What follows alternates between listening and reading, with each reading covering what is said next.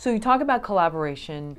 What if a collaboration is not working? What if it is unbalanced? What is the best way for all of the collaborators to handle that? You mean, like if you have if you have a film set and you have one person that's disruptive, or Not so much. I mean, just like, you know, we're all in this to collaborate because we're all now these multi hyphenates Right. with the advent of crowdfunding and DSLR cameras and stuff. So we can all kind of do this project on our own, but we need the help of others. So you're in a collaboration, and the collaboration is unbalanced. It's not necessarily on the film set, it could mm-hmm. be everybody has their role. Yeah. And how does someone handle that amicably? Wow, I said the word Uh, well, I, I think, you know, I would imagine that in that particular situation, there's going to be somebody that's going to be in charge. And I think that that person needs to be able to take the temperature of what's going on. And, um, you know, I think it speaks to what I said earlier about the fact that there's more competition than ever. So if there is somebody, everybody's expendable. I mean, that's the bottom line. Everybody's expendable. I mean, I've seen people fired off of shoots three quarters of the way through it. I mean, a little tougher with actors, but I've seen, you know, really quality DPs get knocked off, you know, 75% of the way through it because he's being a disruptive force or he thinks that he, you know, he wants to override the director or whatever. Um, it's, it's tougher than ever. It's, it's funny. There's more competition than ever right now. Because the barrier of entry to making a film and to, and you know the the amount the proliferation of places where you could distribute a film the barrier of entry has gone down the distribution channels have gone up. That means more people rushing into the arena you know saying I can do this I can do this I can do this okay? That's good and bad. The good the bad is there's so much noise okay? But the, the, the good is that you could rise above that noise very, very easy, okay?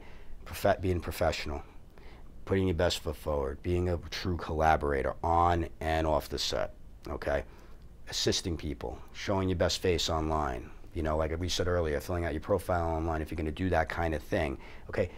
Every one of these things gives you another percentage advantage. You know, it could be 5%, 10%, 15% over what other people aren't doing, you know?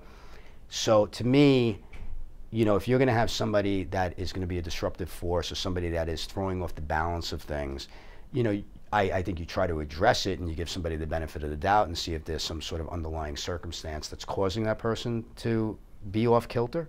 Um, but if it ends up just being a personality dispute of some sort, man, the pool is filled with people that could replace that person. How do you sever it? Well, I think you got to be honest. I mean, I think everything comes down to honesty in this life. I think you just have to be honest with the person and, you know, say it's not working. I mean, I just think that, like we said earlier when we were talking about screenwriting, if you're not getting honesty, then you're getting, you know, all you're doing is setting a person back. You know, if you're not, if you're just telling people good things and you're not being honest, how does that person grow? How do you grow? So I think it's, I think everything in life comes down to honesty. And so going separate ways and probably just not speaking your truth to other people about it because then that might poison it for another person. You know, there's a lot of talk in this town and sometimes people take sides.